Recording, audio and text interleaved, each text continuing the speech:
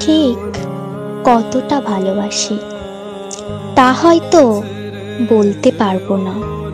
তবে শুধু একটা কথাই বলব, যদি কোনো কারণে বিচ্ছেদ হয়েও যায়, তাহলেও তোমার স্মৃতিটুকু নিয়েই বেঁচে থাকব।